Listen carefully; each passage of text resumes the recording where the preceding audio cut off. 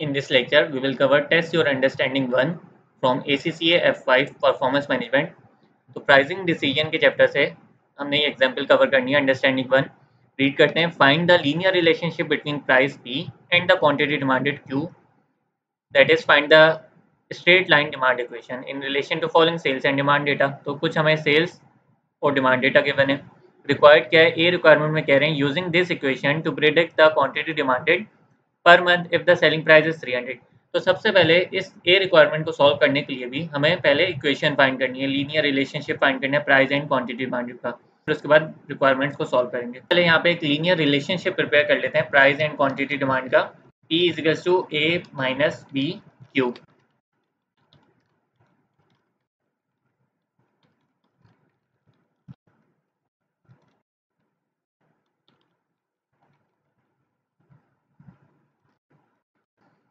A and B जब हम find कर लेंगे तो हमारे पास एक इक्वेशन बन जाएगी। तो जब भी जितनी भी क्वांटिटी से हमें चाहिए होगी प्राइस उस क्वांटिटी से मल्टीप्लाई करा लेंगे। तो सबसे पहले बी फाइंड कर लेते हैं। बी क्या है? Change in price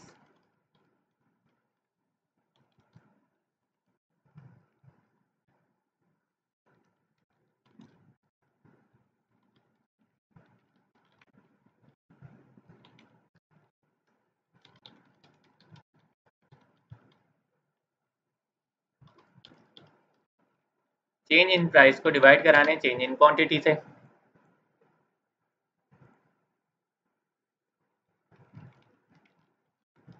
तो यहाँ पे बी फाइंड कर लेते हैं। चेंज इन प्राइस कितनी है? 220 ट्वेंटी माइनस टू और चेंज इन क्वांटिटी कितनी है? 950 यूनिट्स हैं और यहाँ पे 1000 यूनिट्स हैं। तो 950 माइनस 1000 यूनिट्स ये 50 आ गया। और अब भी अगर हम यहाँ पे फाइंड कर लें तो 20 को डिवाइड कराएँगे 50 से तो यहाँ पे बी आया हमारे पास पॉइंट फोर ज़ीरो और नेगेटिव साइन को हमने इग्नोर करना है यहाँ पे, क्योंकि फॉर्मूले में ऑलरेडी नेगेटिव साइन है। तो अगर ये नेगेटिव के साथ हम ले गए तो माइनस माइनस प्लस हो जाएगा। तो इसलिए यहाँ पे इस बी को जो नेगेटिव साइन है, इसको इग्नोर करके लेके जाएँगे वैल्यूज़ तो अब हमने बी फाइंड कर लिया, अब सिमिलरली ए भी फाइंड कर लेते हैं। ए फाइंड करने के लिए हम कोई भी एक इक्वेशन लेंगे और उसमें वैल्यूज़ पुट करके ए फाइंड कर लेंगे। तो अगर फ़र्स्ट वाली इक्वेशन को लें, वो फ़र्स्ट वाली इक्वेशन को इस डिमांड इक्वेशन में ही रखें। तो P equals to A minus B and Q अब यहाँ पे फ़र्स्ट इक्वेशन हमने पिक करी है तो फ़र्स्ट इक्वेशन में प्राइस कितनी है? 200 200 ए हमने फाइंड करना है माइनस बी यहाँ पे कितना है? पॉइंट फोर ज़ीरो ऊपर अभी हमने यहाँ पे फाइंड किया पॉइंट फोर ज़ीरो का, और क्यू फ़र्स्ट इक्वेशन में क्यू क्वांटिटी कितनी है? वन थाउज़ेंड यूनिट्स तो वन थाउज़ेंड यूनिट से मल्टीप्लाई तो सिंपल यहाँ पे बेसिक मैथ परफॉर्म करते हैं। और ए फाइंड कर लेते हैं। तो A equals to two hundred plus point four zero into thousand और इक्वल्स टू लगाएँगे ताकि ये सॉल्व हो जाए। तो ए हमारे पास आ गया 600 तो अब इस इक्वेशन में पुट कर देते हैं P इक्वल्स टू ए हमने फाइंड कर लिया 600 माइनस बी हमने फाइंड कर लिया point four zero into Q तो ये एक हमने डिमांड इक्वेशन जो है, वो प्रिपेयर कर लिया अपने पास।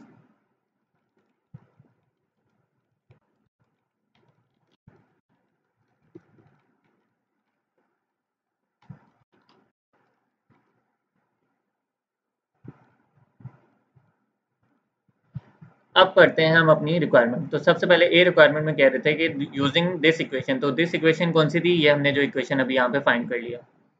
To predict the quantity demanded per month if the selling price is 300 मतलब वो क्यों फाइंड करने को कह रहे हैं? वो प्राइस उन्होंने बताई है 300 तो सिंपली इसको यहाँ पे फाइंड कर लेते हैं।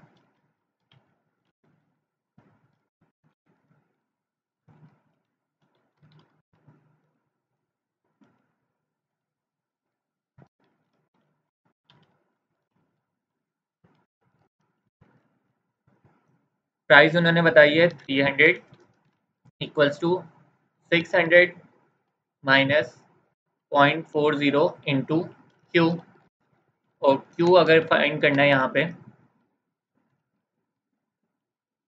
तो 600 माइनस थ्री हंड्रेड और डिवाइड हो जाएगा पॉइंट फोर ज़ीरो तो क्यू हमारे पास क्वांटिटी डिमांड कितनी आ गई? 750 की। तो ए रिक्वायरमेंट में कंप्लीट हो गई। यहाँ पे क्वांटिटी डिमांडेड कितनी है हमारे पास? आ गई क्वेश्चन में 750 की। बी रिक्वायरमेंट में क्या कह रहे हैं? Using the price equation in a ये जो हमने प्राइस इक्वेशन फाइंड करी है एज्यूम करना है वेरिएबल कॉस्ट पर यूनिट है 100 की और कैलकुलेट करना है ऑप्टिमम प्राइस एंड आउटपुट तो ऑप्टिमम प्राइस और आउटपुट यहाँ पे हमने फाइंड करना है। तो अगेन अगर मैं ये इक्वेशन यहाँ पे रखूँ। तो इसमें अगर मैं क्वेश्चन में हमें रिक्वायर्ड क्या है? पी भी फाइंड करना है और क्यू भी फाइंड करना है। तो सबसे पहले अगर मैं क्यू फाइंड कर लूँ तो इस इक्वेशन में रख के पी आ जाएगा हमारे पास।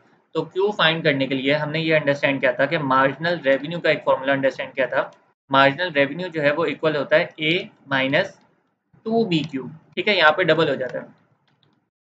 फॉर्मूला सेम है डिमांड इक्वेशन वाला, लेकिन यहाँ पे टू से मल्टीप्लाई हो गया बी तो इस इक्वेशन को अगर हम फाइंड करें,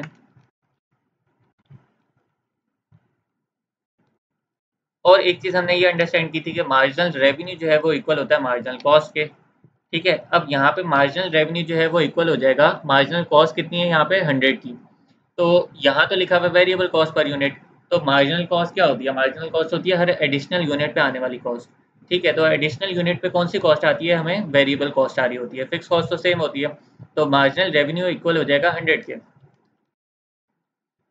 तो इस इक्वेशन में पुट कर देते हैं एम आर हमारे पास आ गया हंड्रेड एम आर आ गया हंड्रेड ए हमने फाइंड किया हुआ था six hundred minus two B हमने फाइंड किया था पॉइंट फोर ज़ीरो का इंटू क्यू हमने इसमें रिक्वायरमेंट है फाइंड करना है। तो Q equals to six hundred minus one hundred और डिवाइड में आ जाएगा two into point four zero तो सिक्स ट्वेंटी फाइव की हमारे पास क्वांटिटी डिमांड आ गई है यहाँ पे। तो इस क्वांटिटी डिमांड को आप इक्वेशन में पुट करते हैं और पी फाइंड कर लेते हैं यहाँ पे। P equals to 600 minus point four zero into Q हमने फाइंड कर लिया 625 है। और again P equals to 600 minus point four zero into six two five तो 350 हमारे पास P आ गया यहाँ पे। B रिक्वायरमेंट भी कंप्लीट हो गई है। अब C में कह रहे हैं कैलकुलेट करना है मैक्सिमम कंट्रीब्यूशन तो C रिक्वायरमेंट सॉल्व कर लेते हैं। मैक्सिमम contribution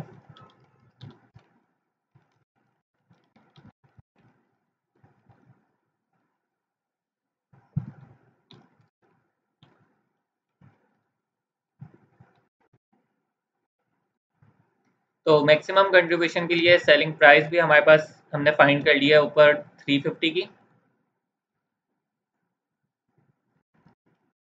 वेरिएबल कॉस्ट जो हमने, हमें क्वेश्चन में गिवन है, वो है वेरिएबल कॉस्ट 100 की।